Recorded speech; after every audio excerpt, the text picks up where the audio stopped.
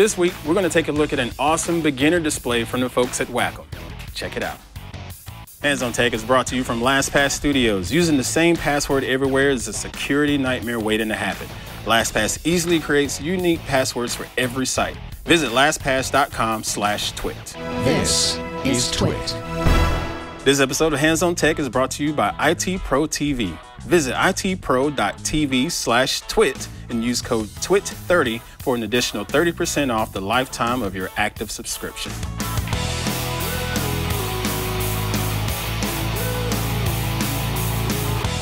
Hey folks, I'm Ant Pruitt. This is Hands on Tech at twit.tv. Hope y'all are doing well. I am unbelievable as always, and boy, I gotta tell you, I'm pretty excited to talk about this fascinating new product that came out from Wacom. All right, so if you watched our CES 2020 coverage, and I'm talking about Ants and Leo's excellent CES adventure, we talked about some of the things that were happening there and at Showstoppers, and we were able to meet up with Wacom, and they showed us this new device. It's their Wacom One tablet. All right, so let me let me break this down for you a little bit. Wacom has a bunch of different devices out there. They have a bunch of different tablets that allow you to just manipulate images on your screen. You can write out lettering and text if you're trying to do uh, fonts and so forth. If you want to be an illustrator and, and just make little graphics, you, you can do a lot of different things on the creative side with their different devices. Some of them are pen displays, some of them are just little tablets. If you've been watching hands-on photography, every now and then you'll catch me with a, an actual Wacom tablet next to my mouse, and it's just this little black plastic square. But this is a little bit different. This is what they call a pen display. Now, on the pen display side of things, Wacom has a couple different versions. You have the Wacom One, you also have the Cintiq line. And on the Cintiq side of things, you're going to spend a lot more money. They have a, a Cintiq Pro that can run you anywhere between $1,500 up to a, maybe $2,000, depending on the different uh, accessories and uh, packages and specs and so forth of that Cintiq line, Cintiq Pro in particular but you can step it down. I mentioned my favorite uh, tech of 2019 was the Wacom Cintiq 16. This was a step below the Pro version, but it was still a little bit more expensive than what people would like to spend at about 700 bucks. So now Wacom gives you another option, the Wacom One. They don't tag this as the Cintiq because this is not the Cintiq. The Cintiq is going to be a little bit more on the pro side and have a little more features, but this is going to have just as much and it's going to be pretty daggone productive for people out there trying to get started with photo editing on a display or just doing graphic designs and animations. So who exactly is this device for? First person that comes to my mind is a, a student, a, an art student that's in you know, doing things for animation or illustration, trying to make their own little characters and things like that. But they can't necessarily afford that Cintiq Pro line that everybody out there in Hollywood and so forth is using. This is a good option for them. Now, this is not going to be the same size as a Cintiq Pro. This is a 13 inch display versus the 16 and 22 and 24 inch that you can find on the upper echelon with the Pros. This is 13 inches, but it's also a HD screen versus a 4K screen. Now, some people are going to argue, well, I really want to have a 4K screen while I'm trying to dive into the pixels of the project that I'm working on. I get that.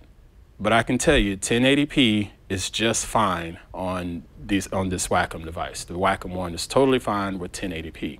Now, once you get started with this device, it's pretty simple to get it plugged up and connected and going.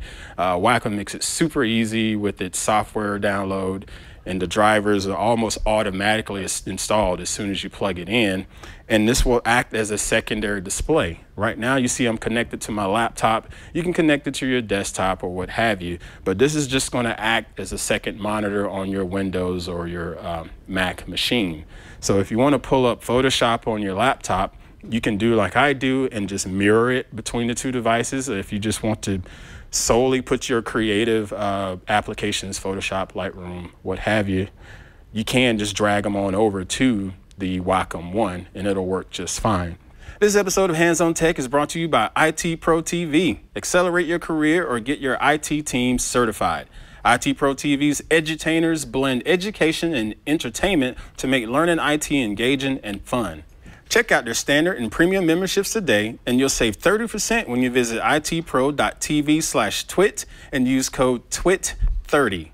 That's itpro.tv slash twit and use code TWIT30 for an additional 30% off for the lifetime of your active subscription.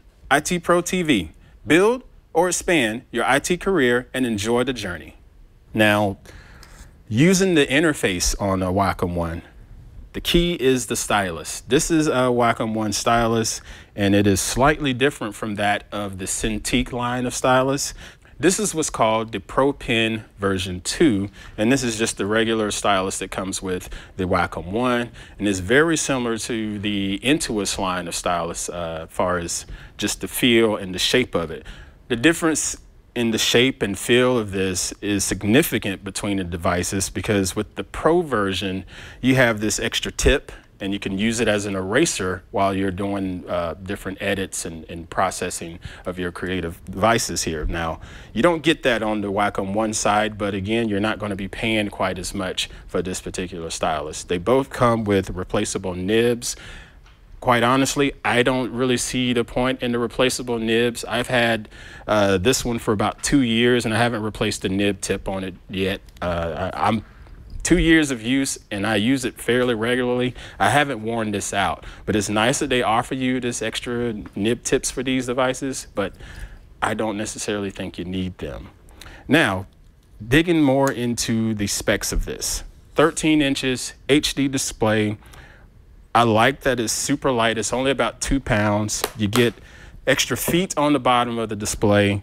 And as you fold them out, you get about 19 degrees of tilt which isn't bad if you're wanting to just really immerse yourself and start drawing on it. Personally, I would like to have an extra maybe uh, maybe 10 degrees more of tilt to give me just a little bit more of a view on it. The brightness on it, uh, not quite bright enough in my opinion. If you're if you're in a studio that has a lot of large windows and you're getting a lot of extra sunlight in, you're going to have some challenges with with the Wacom One being bright enough. Now, if you're totally fine with a home studio like what I have at the house. It's, it's not all of that bright. It's pretty dark. I can see just fine on it. The color correction and color accuracy on it is fair. It, you, you, they claim you're going to get up to 90% of the Adobe RGB color spectrum. I'm seeing just a little bit below that, but it's still quite workable. Again, this is a beginner device, so you're going to get a little bit of beginner specs and beginner performance. Connectivity on this uses its little proprietary USB-C connection, but it also has what they call like a Hydra connection that allows one cord that splits out into three different ways. You have your HDMI out input, you have your USB to allow your pen to actually work and and speak to your computer. And you also have the power. So it's not a bunch of cables that you're having to dangle around at like you used to do with the older versions of the Cintiqs and the different tablets from Wacom. This is just one and it gives you all three in one different uh, connection here. I really enjoy that. Price point on the Wacom One is perfect for the beginner. It's perfect for that student as it comes in at 399. Now, I know a lot of people in the past, when I mentioned getting themselves a, a Wacom tablet, if they're really into doing illustration and painting inside of Photoshop, they always say, hey, those things cost too much. They're, thousand dollars is just too much for me. Well, you're not paying a thousand dollars for this. This is well under that, and at 399, I think this is a very, very fair deal.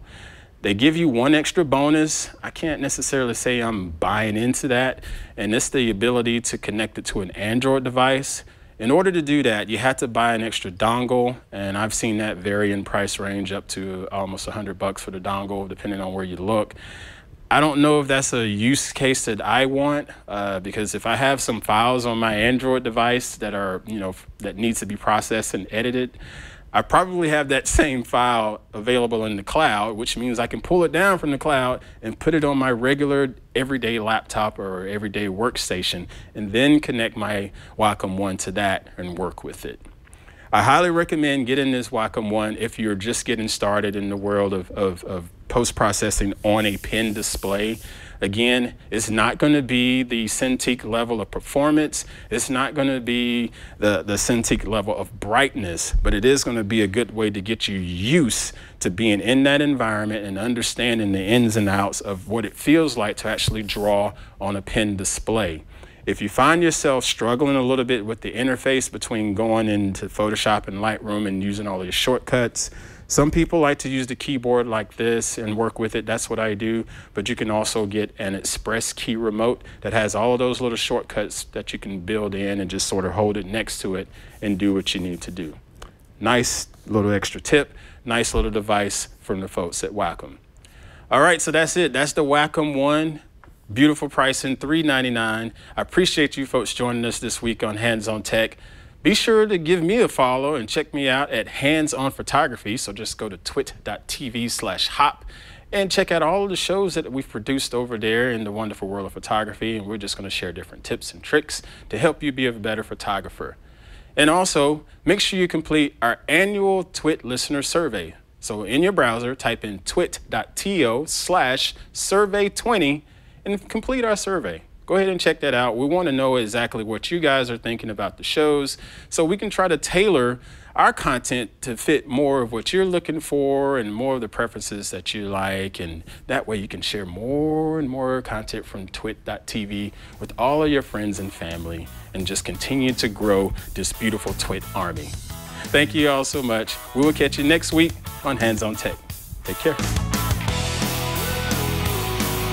Keep up with all the hottest tech news and gadgets. Visit twit.tv. There you'll be able to find and subscribe to all our tech shows.